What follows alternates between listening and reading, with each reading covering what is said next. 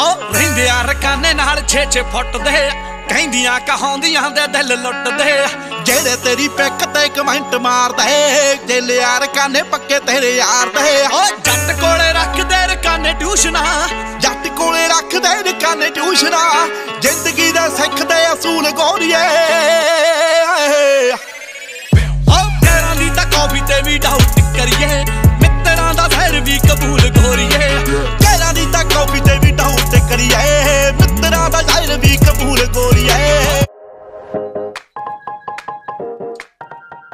Thank you.